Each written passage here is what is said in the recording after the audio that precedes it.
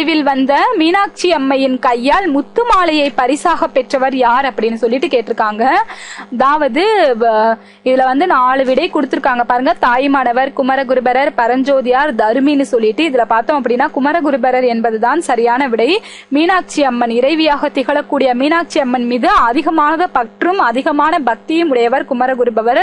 இவர் வந்து மீனாட்சி அம்மை பிள்ளை தமிழ் என்று சொல்லக்கூடிய அந்த நூலை இயற்றப்ப மதுரை மீனாட்சி அம்மனே வந்து ஒரு சிறுமி வடிவுல பட்டு பாவாடை அணிந்து அவருக்கு முத்துமலை அதாவது அந்த நூலை இயற்றிய குமரகுருபரருக்கு வந்து முத்துமாலையை கொண்டு வந்து பரிசாக கொடுத்ததா வந்து வரலாற்று செய்திகள் வந்து குறிப்பிடுகிறது.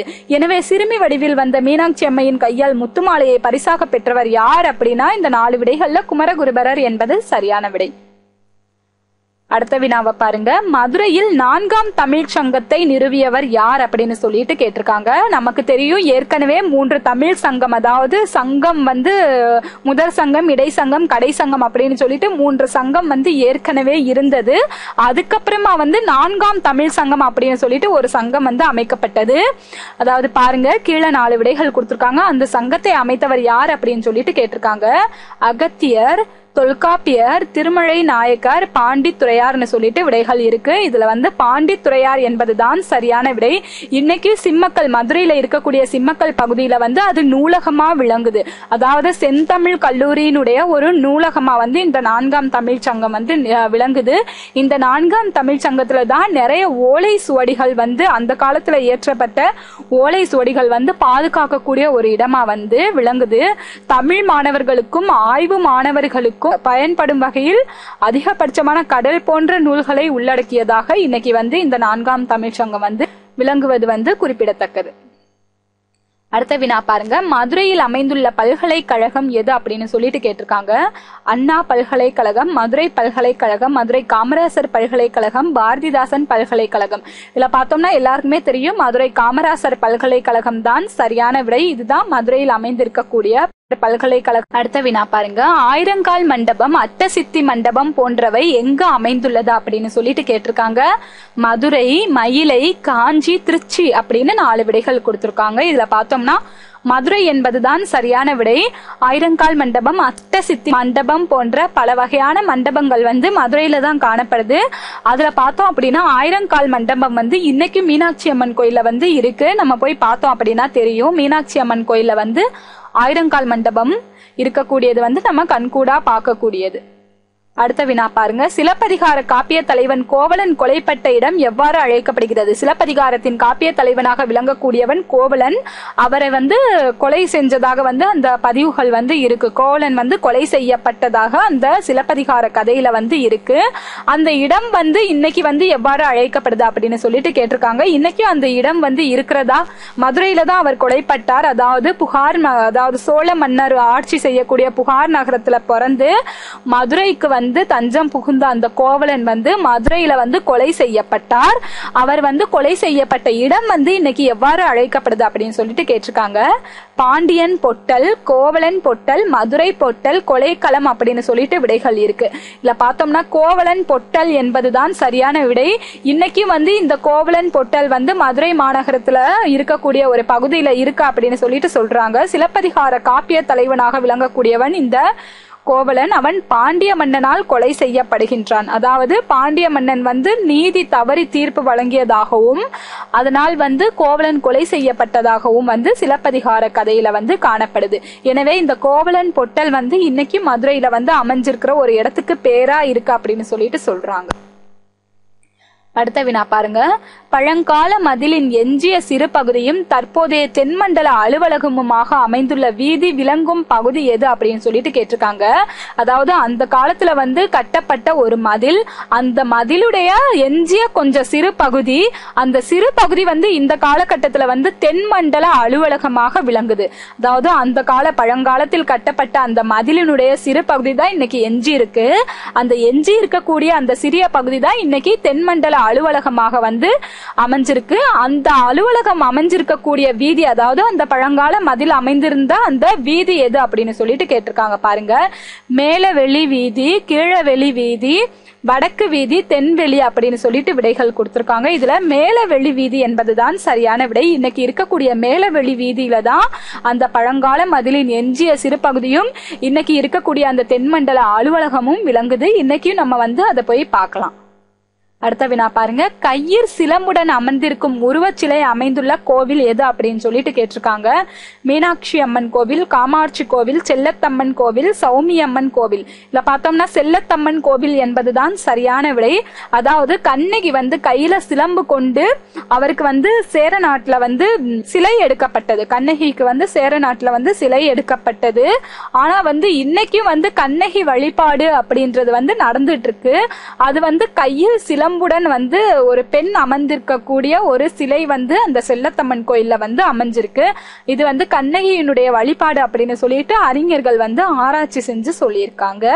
எனவே கையர் சிலம்புடன் அமர்ந்திருக்கும் உருவச்சிலை அமைந்துள்ள கோவில் வந்து செல்லத்தம்மன் கோவில். இன்னைக்கு வந்து அந்த கையில் சிலம்போடு அமைஞ்சிருக்கக்கூடிய அந்த பெண்ணுக்கு வந்து செல்லத்தம்மன் அப்படின்னு பேர் வச்சு வழிபாடு செய்யறாங்க ஆனா இது வந்து கண்ணகியை காட்டக்கூடிய ஒரு அடையாள சின்னம் அப்படின்றது ஆய்வாளர்களுடைய கருத்தா விளங்குது. அடுத்த வினா பாருங்க. சிலப்பதிகாரம் எந்த நூற்றாண்டில் எழுந்த காப்பியம் அப்படின்னு சொல்லிட்டு கேட்டிருக்காங்க. கிபி இரண்டாம் நூற்றாண்டு கிபி நான்காம் நூற்றாண்டு கிபி ஐந்தாம் நூற்றாண்டு கிபி ஆறாம் நூற்றாண்டுன்னு சொல்லிட்டு விடைகள் இருக்கு. இதுல கிபி இரண்டாம் நூற்றாண்டு என்பதுதான் சரியான விடை. தமிழில் தோன்றிய மிகவும் சிறப்பான பழமை வாய்ந்த ஒரு காப்பியமாக இந்த சிலப்பதிகாரம் வந்து விளங்குது. இதுல வந்து மூன்று என்ற சொல் வந்து மிகவும் மிக முக்கியமான ஒரு சொல்லா விளங்குது. ஏன்னா இந்த சிலப்பதிகாரம் வந்து மூன்று நகரங்களை இணைக்கக்கூடியது. சோழன் சேர பாண்டியன் ஆகிய மூன்று மன்னர்களை இணைக்கக்கூடியது. புகார் மதுரை வஞ்சி என்று சொல்லக்கூடிய மூன்று ஊர்களை இணைக்கக்கூடியது. மூன்று முத்தாய்ப்பான கருத்துக்களை கொண்டுள்ளது. என்ன அப்படின்னா அரசியல் பிழைத்தோர்க்கு அறம் கூற்றமாகும். உரைசால் பத்தினியை உயர்ந்தோர் ஏற்றுவர். ஊழ்வினை உறுத்து வந்து ஊட்டும் என்று சொல்லக்கூடிய இந்த மூன்று முக்கிய கருத்துக்களை அடங்கி இருக்கு மூன்று முக்கிய கதாபாத்திரங்களை கொண்டது. கோவலன் கண்ணகி மாதவி என்று சொல்லக்கூடிய மூன்று முக்கிய கதாபாத்திரங்களை வந்து வந்து கொண்டது. அந்த கதைக்கு உள்ள வந்து மூன்று கடிதங்கள் வந்து குறிப்பிடப்படுது. மூன்று பாதைகள் குறிப்பிடப்படுது. இந்த மாதிரி மூன்று என்ற சொல் வந்து மிகவும் முக்கியமாக கையாளப்பட்ட ஒரு காப்பியமாக இந்த சிலப்பதிகாரம் விளங்குது. இந்த சிலப்பதிகார காப்பியம் வந்து கிபி இரண்டாம் நூற்றாண்டுல வந்து இளங்கோவடிகளால் இயற்றப்பட்ட காப்பியம் அப்படின்றது எல்லாருக்குமே தெரியும். அடுத்த வினா பாருங்க. மீனாட்சி அம்மன் கோவிலின் கோபுரங்களில் பழமையான கோபுரம் எது அப்படின்னு சொல்லிட்டு கேட்டிருக்காங்க. இன்னைக்கு வந்து மீனாட்சி அம்மன் கோயில வந்து கிழக்கு மேற்கு வடக்கு தெற்கு ஆகிய நான்கு கோபுரங்கள் வந்து மிகவும் உயரமான கோபுரங்களா வந்து இருக்கு. நம்ம அதாவது ஏற்கனவே வந்து பதினான்கு கோபுரங்கள் வந்து இருந்ததாகவும் அதுல இரண்டு கோபுரங்கள் வந்து மாலிகாப்பூர் படையெடுப்பினால் அழிக்கப்பட்டது அப்படின்னு சொல்லிட்டு சொல்றாங்க. வரலாற்று செய்திகள் வந்து இந்த மாதிரி குறிப்பிடப்பட்டுள்ளது. இதுல பார்த்தோம் அப்படின்னா மீனாட்சி அம்மன் கோவில் கோபுரங்களே மிகவும் பழமையான கோபுரம் எது அப்படின்னு பார்த்தோம்னா பாருங்க விடைகளை பாருங்க. கிழக்கு கோபுரம் மேற்கு கோபுரம் வட கோபுரம் தென் கோபுரம் அப்படின்னு சொல்லிட்டு இருக்கு. இன்னைக்கு வந்து இந்த நான்கு வழியிலையுமே வந்து நம்ம போகக்கூடிய பாதை வந்து இருக்கு. இதுல பார்த்தோம்னா கிழக்கு கோபுரம் தான் மீனாட்சி அம்மன் கோயிலே வந்து மிகவும் பழமையான கோபுரம் அப்படின்னு சொல்லிட்டு சொல்லியிருக்காங்க. ஏன்னா ஆராய்ச்சி செஞ்சு அதாவது அந்த கல்லினுடைய அந்த வயதை வந்து கணிக்கக்கூடிய அந்த கருவியின் மூலமா அந்த கோபுரத்தில் இருக்கக்கூடிய அந்த கற்களை வந்து கணிச்சு ஆராய்ச்சி செஞ்சு அறிஞர்கள் வந்து சொல்லியிருக்காங்க. அதுல பார்த்தோம் அப்படின்னா மிக அதாவது எந்த ஒரு காரியத்தையும் வந்து கிழக்கு அப்படின்றது வந்து முன்னாடி வைப்போம். பாருங்க கிழக்கு மேற்கு வடக்கு தெற்கு அப்படின்னு திசைகளை சொல்றப்பவுமே வந்து கிழக்கு அப்படின்னு சொல்லிட்டு தான் ஆரம்பிப்போம். அதனாலதான் அந்த அரசர்கள் வந்து அந்த காலத்து மன்னர்கள் வந்து என்ன செஞ்சிருக்காங்க அப்படின்னா கிழக்கு கோபுரத்தை வந்து முதல்ல கட்டியிருக்காங்க. அதுக்கப்புறம் அடுத்தடுத்த கோபுரங்களை வந்து கட்டியிருக்காங்க. எனவே அது வந்து மிகவும் பழமை வாய்ந்த கோபுரமா அமைஞ்சிருக்கு. அடுத்து பாருங்க தெற்கு கோபுரம் எத்தனை அடி உயரம் உடையது? பாருங்க நூற்றி அறுபது புள்ளி ஒன்பது அடி நூற்றி ஐம்பது புள்ளி ஒன்பது அடி நூற்றி எண்பது அடி நூற்றி தொண்ணூறு அடி அப்படின்னு சொல்லிட்டு விடைகள் கொடுத்துருக்காங்க. இதில் பார்த்தோம் அப்படின்னா தெற்கு கோபுரம் வந்து நூற்றி அறுபது புள்ளி ஒன்பது அடி உயரம் உடையதா வந்து அமைஞ்சிருக்கு. இதுதான் இருக்கக்கூடிய அந்த நான்கு திசைகளில் இருக்கக்கூடிய கோபுரங்களில் வந்து மிகவும் உயரமான கோபுரம் அப்படின்னு அழைக்கப்படுற கோபுரம் வந்து தெற்கு கோபுரம் தான் இது வந்து நூற்றி அறுபது புள்ளி ஒன்பது அடி உயரம் உடையது என்பது குறிப்பிடத்தக்கது. அடுத்த வினா பாருங்க. மீனாட்சி அம்மன் கோவில் தென் கோபுரத்தில் அமைந்துள்ள சுதை உருவங்கள் எத்தனை அப்படின்னு சொல்லிட்டு கேட்டிருக்காங்க. அதாவது மீனாட்சி அம்மன் கோவில்ல வந்து ஒவ்வொரு கோபுரத்திலயுமே வந்து நிறைய உருவங்களை வந்து செதுக்கி வச்சிருக்காங்க. அதுல வந்து தெற்கு கோபுரத்தில் அமைந்துள்ள சுதை உருவங்கள் எத்தனை அப்படின்னு சொல்லிட்டு கேட்டிருக்காங்க பாருங்க. ஆயிரத்தி ஐநூத்தி ஆறு உருவங்கள் ஆயிரத்தி ஐநூத்தி பத்து உருவங்கள் ஆயிரத்தி ஐநூத்தி பதினொன்று உருவங்கள் ஆயிரத்தி ஐநூத்தி இருபது உருவங்கள் அப்படின்னு சொல்லிட்டு விடைகள் கொடுத்திருக்காங்க. இதுல பார்த்தோம்னா ஆயிரத்தி ஐநூத்தி பதினோரு உருவங்கள் என்பதுதான் சரியான விடை. ஏன்னா மீனாட்சி அம்மன் கோவில்ல இருக்கக்கூடிய அந்த தெற்கு கோபுரத்தில் அமைந்திருக்கக்கூடிய அந்த சுதை உருவங்களோட எண்ணிக்கை வந்து ஆயிரத்தி ஐநூத்தி பதினொன்னு என்பது சரியான விடை. அடுத்த வினா பாருங்க. மரம் பயன்படுத்தப்படாமல் கட்டப்பட்ட இடம் எது அப்படின்னு சொல்லிட்டு கேட்டிருக்காங்க. மதுரையில இருக்கக்கூடிய இடங்கள்லயே வந்து மரத்தை கொஞ்சம் கூட எடுத்து பயன்படுத்தாம கட்டப்பட்ட அந்த இடம் எது அப்படின்னு சொல்லிட்டு கேட்டிருக்காங்க. மீனாட்சி அம்மன் கோவில் தமுக்கம் தெப்பக்குளம் நாயக்கர் மஹால் அப்படின்னு சொல்லிட்டு இங்க கொடுத்திருக்காங்க. இதுல நாயக்கர் மஹால் என்பதுதான் சரியான விடை. இந்த நாயக்கர் மஹால்ல வந்து மரங்களையே பயன்படுத்தப்படாமல் கட்டடங்களை வந்து எழுப்பியிருக்காங்க. எனவே மரம் பயன்படுத்தப்படாமல் கட்டடங்கள் அமைந்த இடம் எது அப்படின்னா நாயக்கர் மஹால் அப்படின்றது தான் சரியான விடை.